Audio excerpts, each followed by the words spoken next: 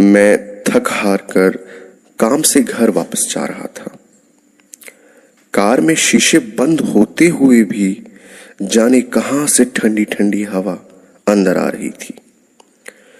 मैं उस सुराख को ढूँढने की कोशिश करने लगा, पर नाकामयाब रहा।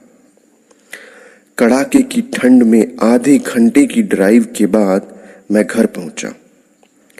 रात के करीब बारह बज चुके थे। मैं घर के बाहर कार से आवाज़ देने लगा। बहुत देर हॉर्न भी बजाया। शायद सब सो चुके थे। दस मिनट बाद खुद ही उतरकर गेट खोला। सर्द रात के सन्नाटे में मेरे जूतों की आवाज़ साफ़ सुनी जा सकती थी। कार अंदर कर जब दोबारा गेट बंद करने लगा तभी मैंने देखा कि एक आठ से दस साल का बच्चा अपने कुत्ते के साथ मेरे घर के सामने फुटपाथ पर सो रहा है। वह एक अधफटी चादर ओढ़े हुए था। उसको देखकर मैंने उसकी ठंड महसूस करने की कोशिश की तो एकदम सक पका गया। मैंने एक महँगी सी जैकेट पहनी हुई थी। फिर भी मैं ठंड को कोस रहा था। और वो बेचारा बच्चा मैं उसके बारे में सोच ही रहा था कि इतने में वो कुत्ता बच्चे की चादर छोड़ मेरी कार के नीचे आकर सो गया। मेरी कार का इंजन गर्म था, शायद उसकी गर्माहट कुत्ते को सुकून दे रही थी। फिर मैंने कुत्ते को भगाने की बजाय उसे वहीं सोने दिया।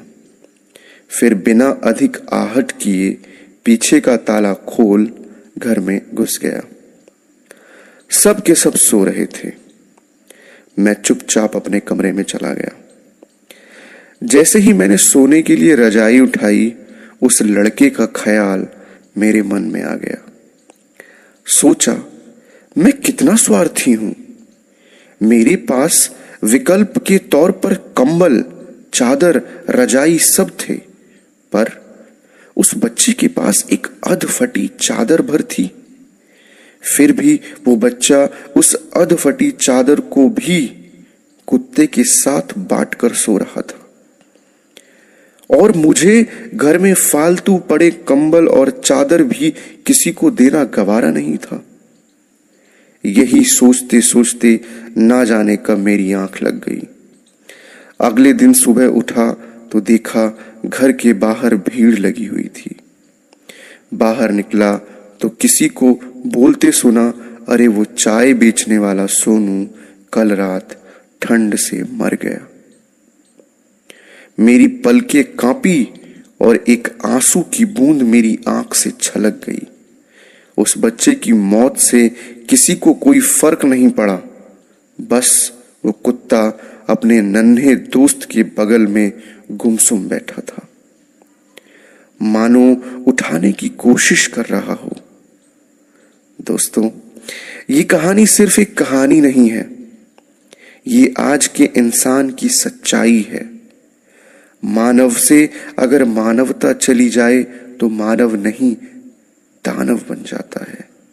और शायद हम में से ज़्यादातर लोग दानव बन चुके हैं। हम अपने लिए पैदा होते हैं। अपने लिए जीते हैं और अपने लिए ही मर जाते हैं। ये भी कोई जीना हुआ? चलिए फिर से एक बार मानव बनने का प्रयास करते हैं। चलिए अपने घरों में बेकार पड़े कपड़े जरूरतमंदों को देते हैं। चलिए कुछ गरीबों को खाना खिलाते हैं। चलिए किसी गरीब बच्चे को पढ़ाने का संकल्प लेते हैं। चलिए एक बार फिर से मानव बनते हैं।